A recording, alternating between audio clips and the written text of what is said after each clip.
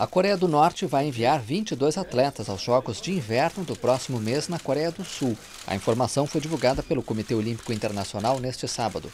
Também foi confirmado que as duas nações vão marchar juntas na cerimônia de abertura.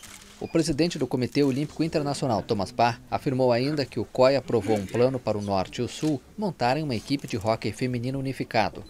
Na semana passada, a Coreia do Norte aceitou participar dos Jogos de Pyeongchang, que vão ocorrer a 80 quilômetros ao sul da zona desmilitarizada que divide a península. A decisão abre caminho para uma distensão entre as duas Coreias, após meses de escalada pelos programas nuclear e balístico do Norte.